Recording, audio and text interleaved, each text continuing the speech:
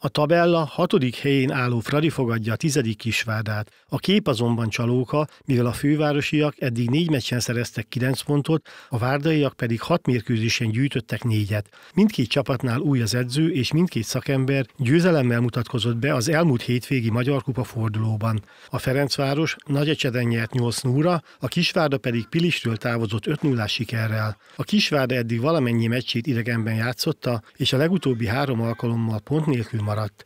Mátyus János abban bízik, hogy az ülői úton megszakad a negatív sorozat. Most lehetne siránkozni, hogy ö, milyen szerencsétlenek vagyunk, pont a Ferencvárosankra játszunk ráadásul idegenben.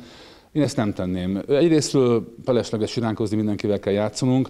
Másrésztről egy ilyen meccs van talán az évben, amikor az ember nincs nyomás alatt, hiszen gyakorlatilag egy egészen elképesztő futó, egészen elképesztő formát futó csapattal fogunk találkozni. Az ország legerősebb csapata nyilván, sokszoros magyar bajnok az elmúlt években is.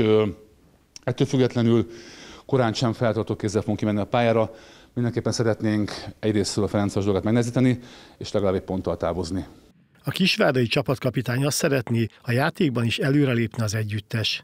Szerintem a legjobb magyar csapat most ö, ö, itt Magyarországon, de, de nyilván én, én szerintem is nem is szabad úgy menni a pálya, hogy, hogy áll mindegy, hogy úgyis a Fradi esélyes nem. Szerintem pont, pont úgy kell menni, hogy ö, próbálni kell egy meglepetésé érni, de, de a legfontosabb az, hogy már a játék is legyen már javulás, és, és, és úgy is utána itt bízunk benne, hogy már most utána a hazai pályát tudunk játszani videót ellen, úgyhogy bízunk benne, hogy ha, ha nem, jó, nem is a legjobb eredmény, de legalább a játék már legyen biztató.